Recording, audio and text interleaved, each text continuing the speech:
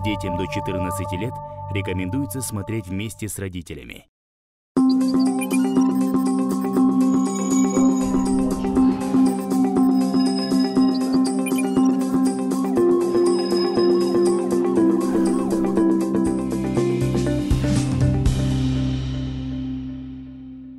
Ассаламу алейкум, дорогие телезрители, с вами информационно-познавательная телепередача «Семейный доктор».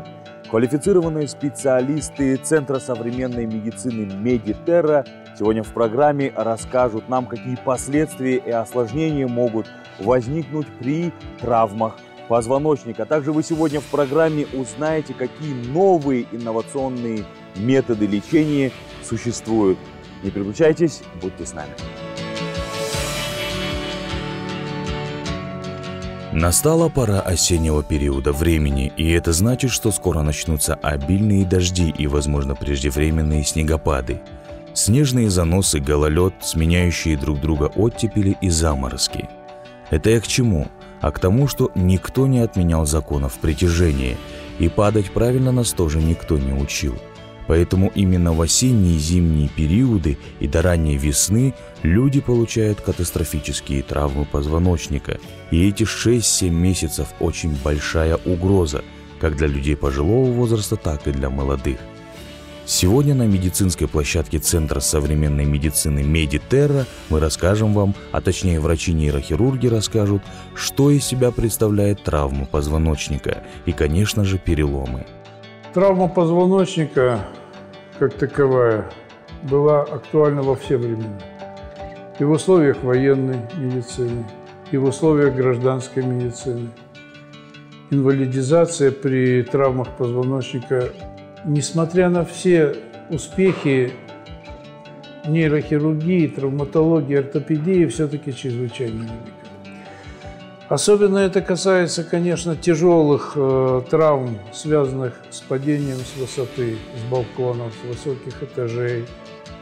Автотравмы, связанные с переворотом автомобилей, с лобовыми столкновениями. Люди получают подчас тяжелейшие травмы шейного отдела, грудного отдела, поясничного отдела позвоночника. Разрывов связочных аппаратов позвоночника – Травмы могут сопровождаться с выключением спинного, спинального кровообращения, спинного мозга, всех функций. Или могут просто быть изолированная травма позвоночника кости без повреждений спинного мозга и без внедрения в спинальный канал. Самой тяжелой в этой ситуации является травма шейного отдела позвоночника летальность, то есть смертность, при этом иногда достигает 50, а то и 90 процентов. Потому что обездвиженный человек, как говорится, только остается голова профессора Доуэля по знаменитым романам Беляева.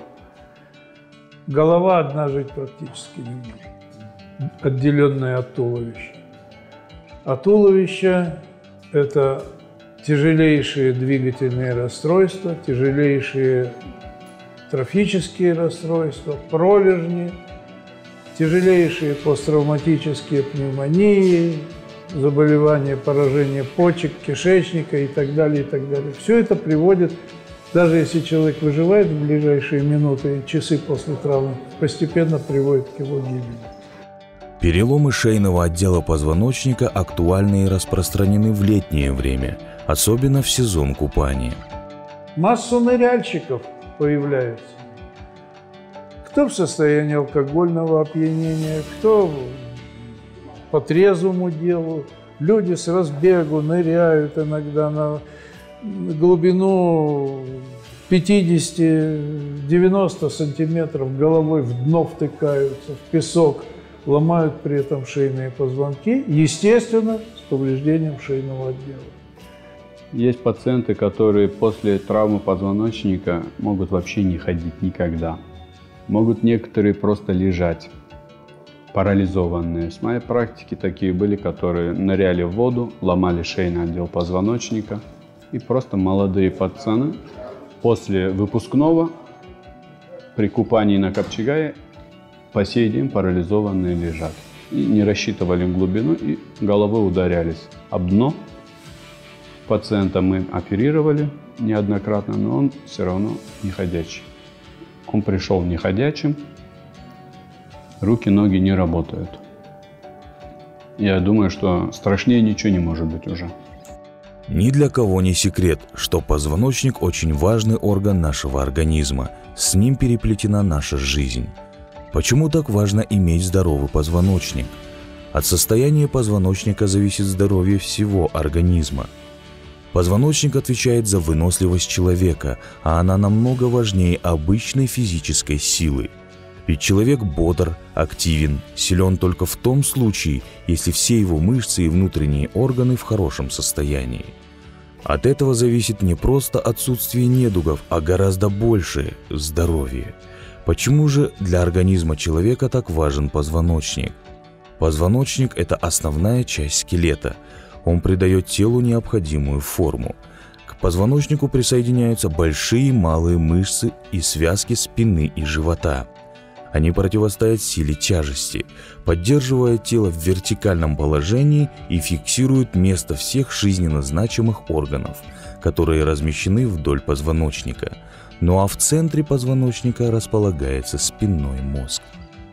Спинной мозг – это магистраль, которая соединяет наши конечности с головным мозгом. Если на каком-то уровне идет преграда, информация от наших рук, от наших ног не поступает в голову, обратного импульса нету, мы не можем сделать что-то. Импульс – это рефлекс. Мы что-то почувствовали, импульс моментально пошел нам в голову через спинной мозг и сразу отдал обратно. Да, это ручка, с ней можно писать, ее надо держать вот так вот. Вот, это рефлекс обычный. Но если на каком-то уровне позвоночника идет преграда, уже дальше импульс не идет. Все, на этом стоп идет. Это выпадение идет рефлексов. Не менее распространенный наряду с вышеперечисленными переломами существует и компрессионный перелом поясничного отдела позвоночника. Там бывают компрессионные переломы с повреждением позвоночного, с внедрением осколков в позвоночный канал и повреждением спинного мозга или спинномозговых корешков. Если есть повреждение спинного мозга, спинномозговых корешков, либо внедрение осколков кости в позвоночный канал, тогда уже малоинвазивной хирургии откладывается. Приходится делать хирургическое лечение,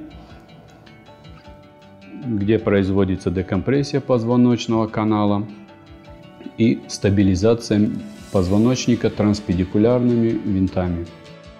Немаловажными факторами, связанные с позвоночником, являются также заболевания центральной и периферической нервной системы. Очень большой процент инвалидизации в стране проявляется с повреждением периферических нервов.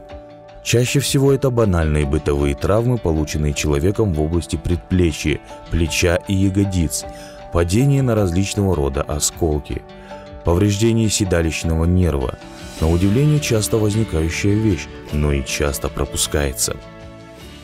Это очень большая проблема.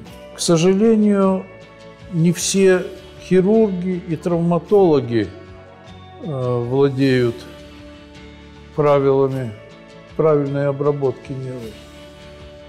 Мне доводилось встречать больных, у которых нерв сшит с сухожилием одно сухожилие неадекватно сшито с другим сухожилием.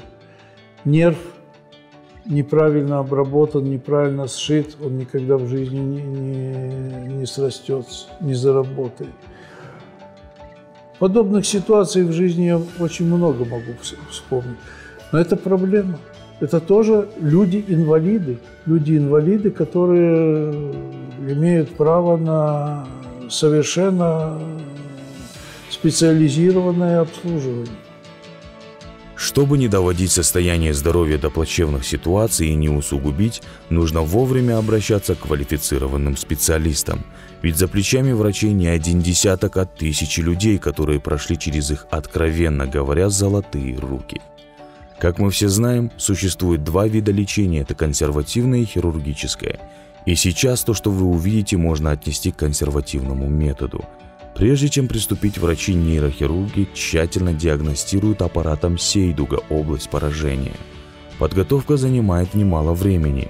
Здесь нужна точность, от бдительности и точности врача зависит дальнейший ход операции.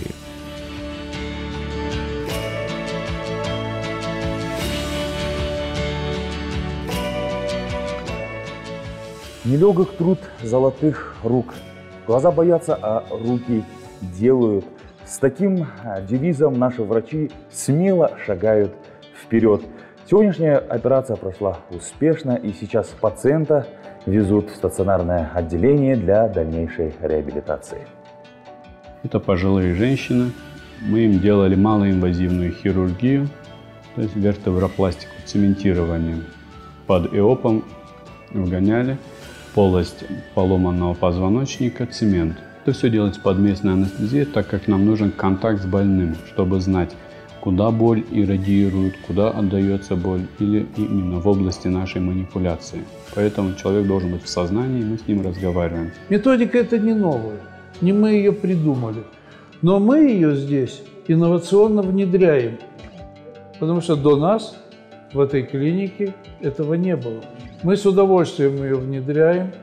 Больным вводим цемент. Больной практически на другой день может встать, ходить, сидеть с любым повреждением позвоночника, с любым, э, с любой там, неоперированной даже иногда опухолью. Вот до недавнего времени еще множество переломов грудопоясничного и поясничного отдела позвоночника. Тактика была однозначна. Полтора-два месяца, три месяца категорический постельный режим, вставание в корсете, не сидеть полгода-год. Больной выбывает из обычной нормальной жизни. Что теперь при подобного рода переломах грудопоясничного, поясничного отдела позвоночника больной может себе позволить введение цемента, правда, иногда по показаниям специальным узким. И после вертебропластики, после введения цемента, он практически здоров через несколько дней. То есть от момента травмы до э, момента выздоровления проходит, проходит не 3, 4, 6 месяцев, а про, проходит ну, 2-3 недели. Каждому пациенту нейрохирурги назначают индивидуальный подход лечения. Все зависит от степени перелома или травмы. Перелом позвоночника бывает смещение позвоночника, бывает его взрывной компрессионный перелом, бывает разрыв связок, бывают простые компрессионные переломы без внедрения в позвоночный канал. Это все оценивается и выбираются методы лечения. Либо это хирургическая тактика, либо это малоинвазивная тактика. Малоинвазивные методы – это вертебропластика, цементирование позвоночников, а хирургическая тактика – это уже когда идет повреждение спинного мозга или корешков, либо внедрение осколков в позвоночный канал, то мы перебегаем к хирургической тактике лечения. Устанавливаем винты, декомпрессию позвоночника делаем. Вольно-невольно задаешься вопросом, как обезопасить себя, своих детей от такой тяжелой напасти? Человек просто должен оберегать себя. Больше мы ничего посоветовать не можем, потому что это травма, ты не знаешь, как она произойдет. Это, например, инфекцию можно предупредить. Не ходи раздетый, не ходи там, где много болеют людей. А травма мы не знаем, что с нами случится, выйдя сейчас за дверь. Поэтому сказать, как это, просто себя надо беречь. И все.